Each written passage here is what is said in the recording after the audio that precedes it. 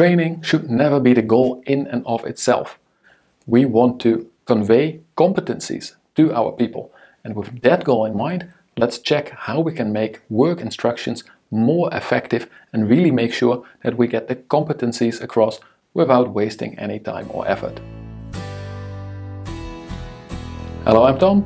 Welcome to my channel where we talk about continuous improvement in an industrial setting.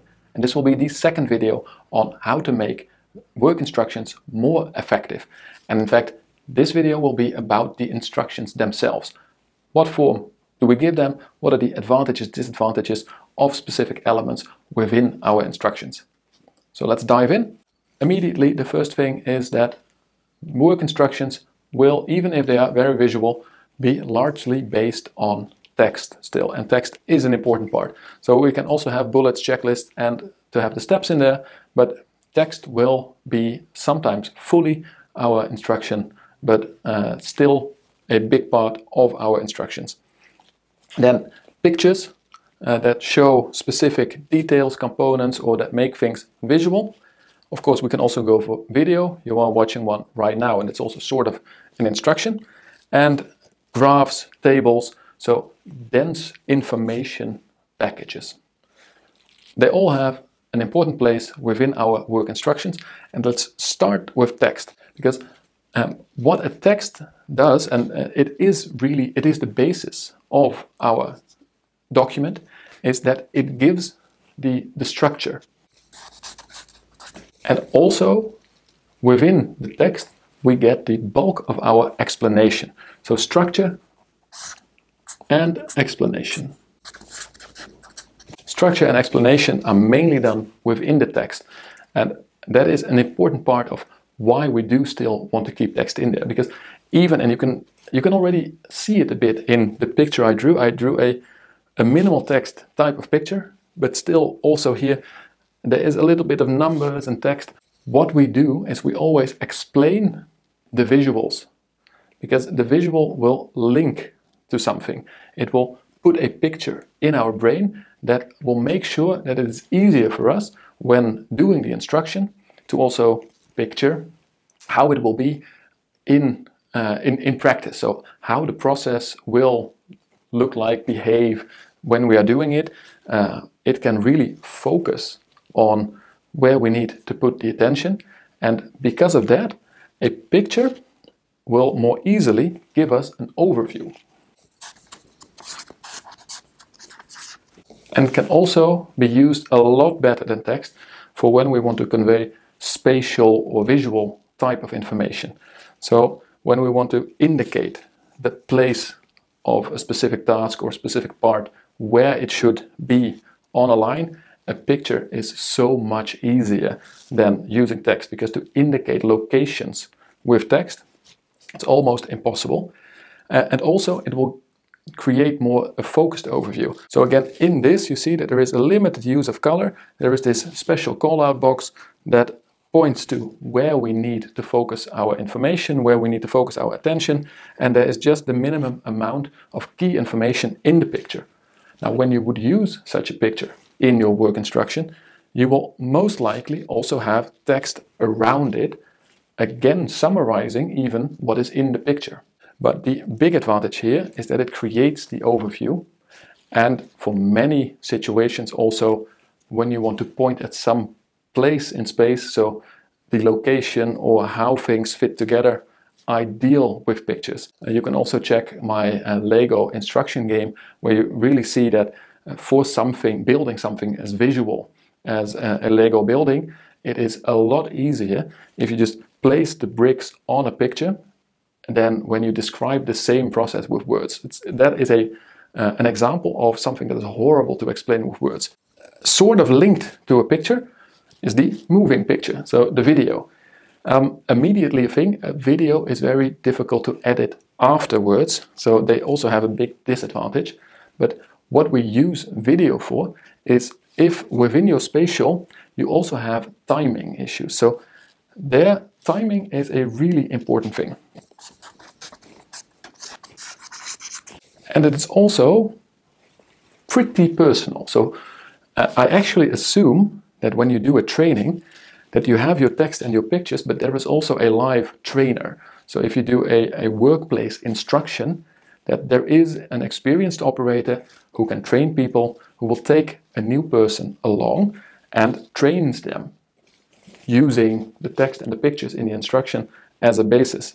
But one of the big advantages also of video is you can sort of include this personal trainer in the training material and it gives a completely different interaction. So like you are now watching this video with me in it talking gives a completely different way of um, receiving the information than when I would have typed out exactly the same information and you would ha have to read it yourself and interpret what it says.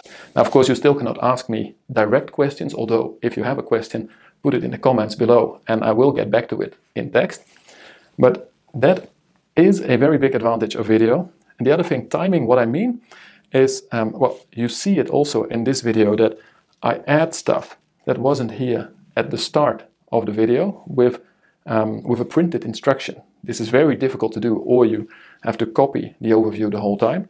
And within a live presentation or within a video, this is uh, a lot easier to do, so the timing of the instruction. But more importantly, is that when the task itself is time sensitive, when you have to um, do things in a certain order and with a certain uh, tact or a certain timing in it, these things are very nice to put into a video. Uh, one of the examples here, for instance, that you will have in a lot of factories is uh, how to how to dress for the production area. So especially when we're in food, pharma, or other factories where uh, you have a, a, bit higher hygiene levels, you will be required to change uh, into a hygiene set of clothes, wash your hands. Uh, so there is always an order in how to do this, how to make yourself ready to go into the production area. Ideal for a video because there uh, it is it is quite visual. Where do you have to put it on your body? What do you have to do? It's nice that there is a person in there to, just to make it more palatable as a way of instruction, but also the timing there can be really well explained. And also with how can you get into the production facility, um, there is not so much of a disadvantage for video because this doesn't change as much.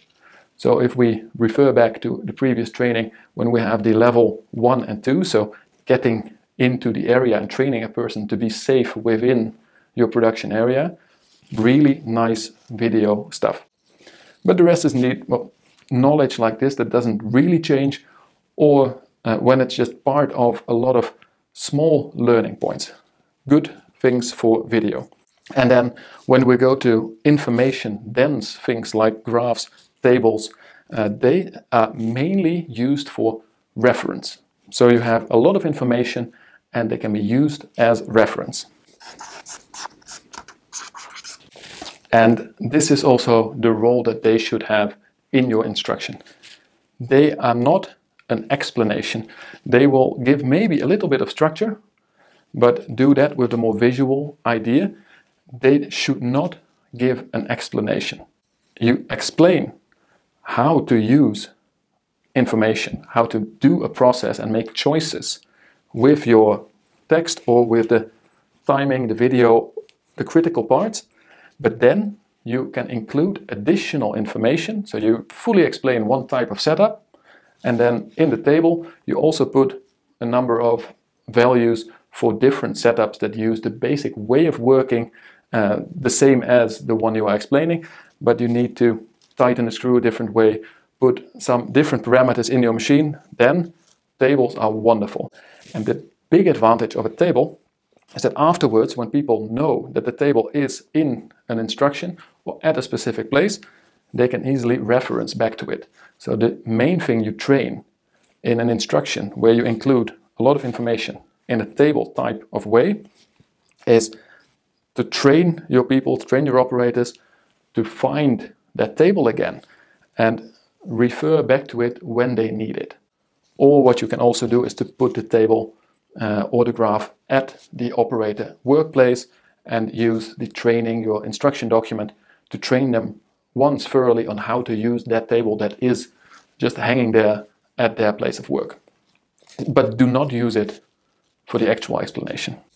And the one thing that I think we should add to all of this is your goal is to convey competencies to people in your factory, not to limit the time you spend on an instruction. If you are making an instruction for, let's say, 50 people, and by putting in four hours of extra work to make some nice pictures or even to shoot video a couple of times a year because you have to update it, if that can make sure that this 15 minutes training for your 50 people is effective and not wasted time, then of course you have gained a lot of time for your operation. So think about that, put in the effort to make a good instruction because your goal is to make people follow a standard so that your product is good so that you can make lots of money by selling good stuff to your clients.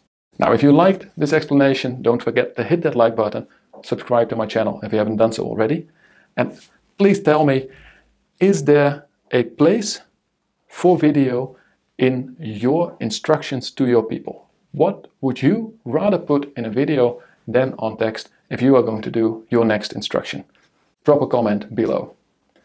For now, I wish you the best of luck with creating good and effective instructions. And as always, enjoy the journey.